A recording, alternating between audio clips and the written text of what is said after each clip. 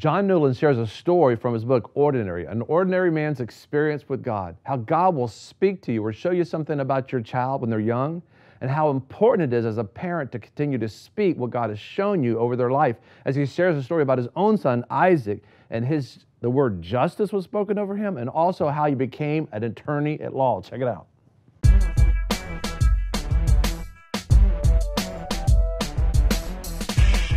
Be sure to subscribe and press alert to get new notifications of new success secrets made available on VFN TV.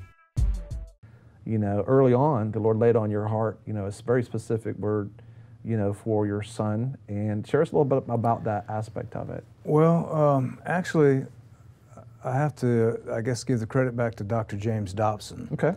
Who's, uh, some of you may not know, he's, he's years past, a very influential a Christian mm-hmm. uh, psychologist and yeah. focus on the family. And I would listen to him mm-hmm. uh, about daily riding on in the car. And he said that uh, when you have a child or a son or a daughter, mm-hmm. try to see how they're bent or how their their their inner workings are. Don't try to right. make them into what you want them to be, trying to be vic- live vicariously through them. Instead, right. try to help them reach their potential as God has put the, His mm-hmm. mark on them to how they should be. Right. So I prayed. I said, Lord, uh, what about Isaac? Okay. Mm-hmm. How is? What do you mean by that? How, what's Isaac's bent or what? Right. And I watched him as he would deal with the uh, the different uh, other boys. How old was he? Uh, he was probably about eight. Okay. And I had a basketball net, and Debbie would make. Mm-hmm uh, uh, really good cookies. And so we had all these boys that come to our yard, and I'd right. have a little talk to them a little bit about the Lord. And I'd watch how Isaac, and I saw that he loved fairness. Mm-hmm. And so I, I, I got it, I believe from the Holy Spirit, and I said, Isaac loves justice. So at different times, I would speak that. I'd say, right. Isaac loves justice. And then I'd right. say it again Isaac loves justice. Mm-hmm. So at an early age, mm-hmm. he decided that he wanted to be an attorney or a lawyer. Wow, speaking and, of justice, right? And yeah. so he began to study. My wife mm-hmm. would say, "Hey, you can play just a little bit, then we're going to come do the homework, and right. then you can play some more after that." Right. So he ended up. He was in a Christian school, mm-hmm. and I was a little bit religious at the time. Uh, what does that mean? Religious would mean that I was. Uh, concerned about how others looked at me in my religion. Okay. And um, I would fear be, a man more than a fear of God. Yeah, I, I, try to please others, and I and sometimes you get this legalistic thing mm-hmm. where you put the law even over how you would treat someone else, like your son. Right.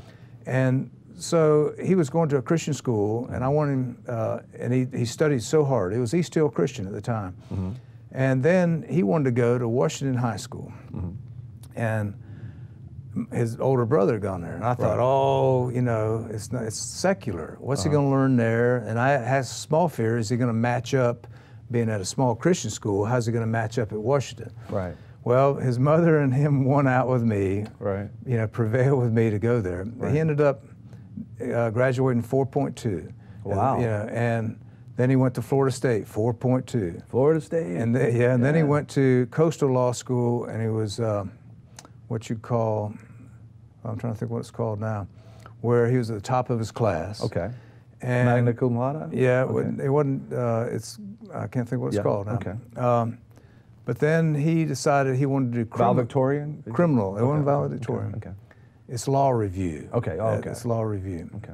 And he was offered a really good job, six figure, to be at school, a, a, a lawyer. Didn't y'all take him to Morning Star or something like that? No, that was another time in, in his okay, life. Okay. That was no, that was a good one. That was powerful. Uh, confirmation about Isaac loves justice. I'll break off and okay.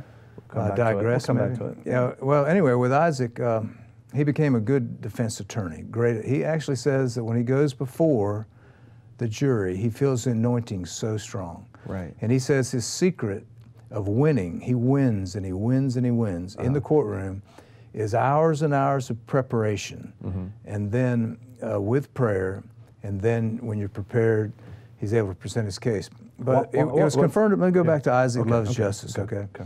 Uh, he was going to Florida State, and he said, You know, Dad, I want to be in a fraternity, okay? Right. I want to live this whole fraternity life, okay? Right.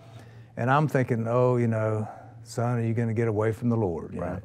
And I think he was, uh, um, you know, not really going to the church at that time Mm-hmm. and going to some of the parties and things. And my wife, we'd been in the Brownsville Revival for many years, and we'd yeah. gone every night. We were prayer team coordinators, and she was tired, somewhat burnt out. Mm-hmm. Right. In fact, Finney says revival stop when the people get tired. Right. And we were a little bit tired. I loved it because you know I could hunt all night. I could Right. I could certainly pray all night. Right. But she was getting tired, so I said we need a, we need. We'd heard about these pilgrimage. Mm-hmm. You know, people would come to the revival as a pilgrimage. Well, I hadn't done a pilgrimage. I thought, Lord, what could I do for Isaac and uh, Jonathan was away in chiropractic college. What could we do? And so I thought, you know, Morning Star had a young band with a bunch of instruments and they were long hairs and they played really cool music. I thought I bet Isaac could identify with that. Uh-huh. Debbie loves the prophetic. She's read everything on the prophetic, wants me to be involved with the Right. prophetic. Okay. And um, so I thought, you know, I bet I could bless them both there. And I had said to Debbie, I like this guy named John Paul Jackson. Oh yeah. And I'd liked him, and he intrigued me. And I told her, I said, "Honey, if he's within 200 miles, let's uh, let's go hear him." It turns out he was the head speaker at this Wow. at this conference. Okay. So I was looking forward to it. So we went there, and just for one example, I'll make it short. No, for, no, for, no, no. Tell us the story. Isaac, um, they did this um, uh, time where you would have personal ministry Mm-hmm. Right. and, and actually hear a word from the Lord. Right. I like so- the way they do that there because they're under authority. Right. They have teams. Right. They're walking through certain biblical principles. Right. And they're very in fear and trembling, but they deliver that. Right, what they feel in their Yeah. hearts Oh, from yeah. the Lord. So we went into a little cubicle, and Mm-hmm. there was three of us, and there was three of them, it, and they were all young, Mm-hmm. And the girl in the center was just beautiful, Right. and all of a sudden she began to weep, Mm.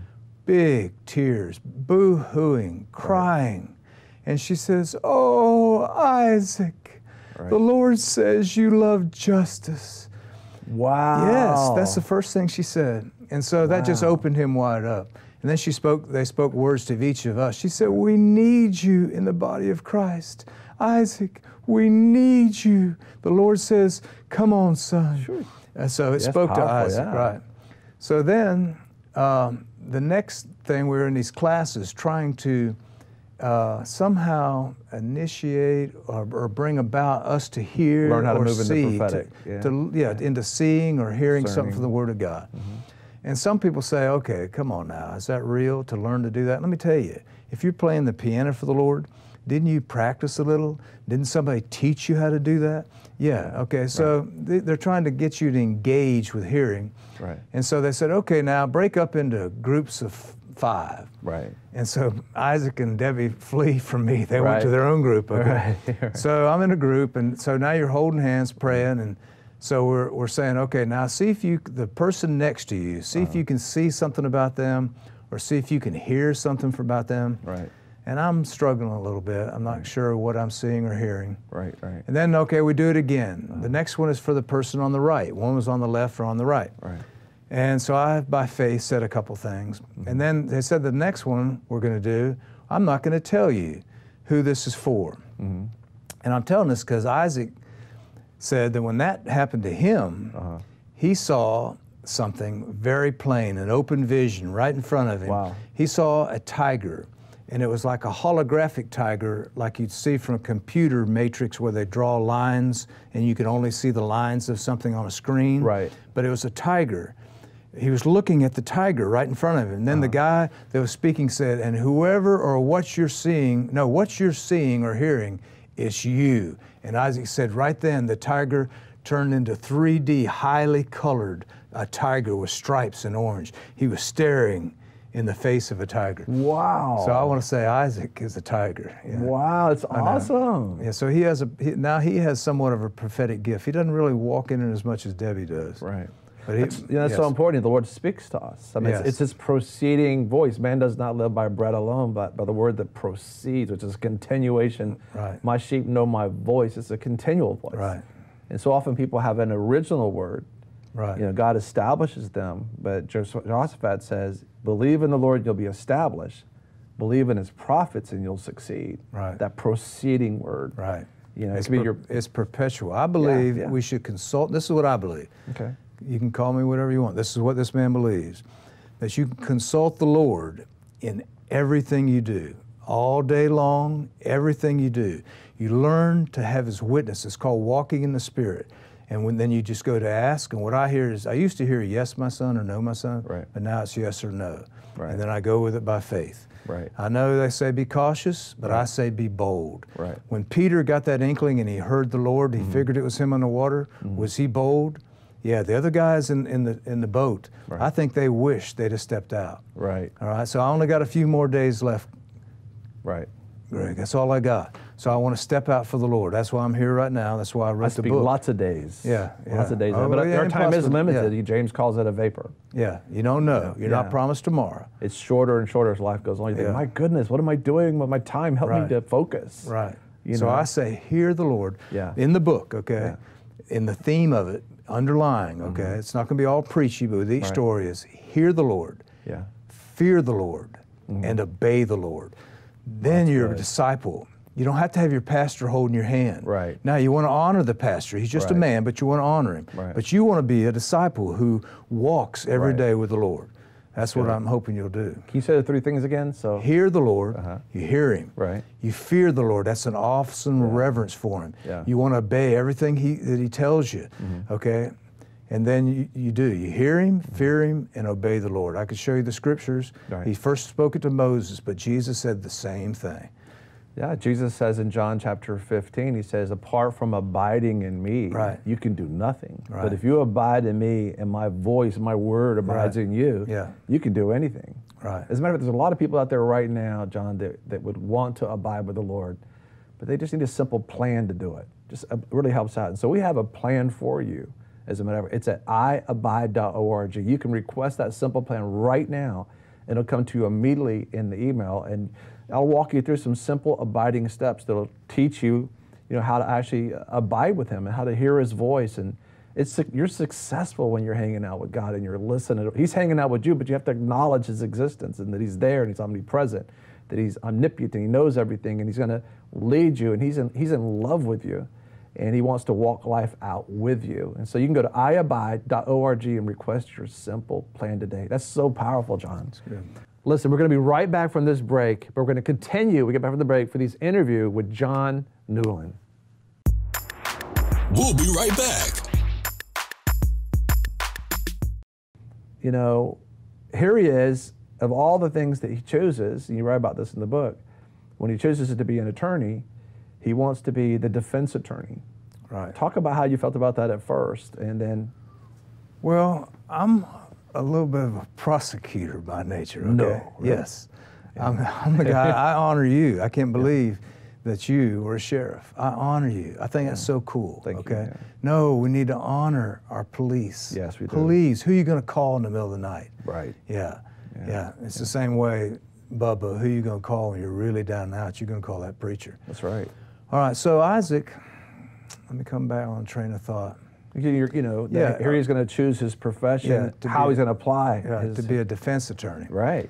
And so, personally, I believe in mercy. I love the concept of mercy. I didn't believe I could be forgiven. That's a whole nother story. I'm here because of mercy. Yeah, mercy, mercy. So I'm a merciful man, but I don't want anybody raping babies. Right. I don't want anybody hurting the defenseless, okay? Right.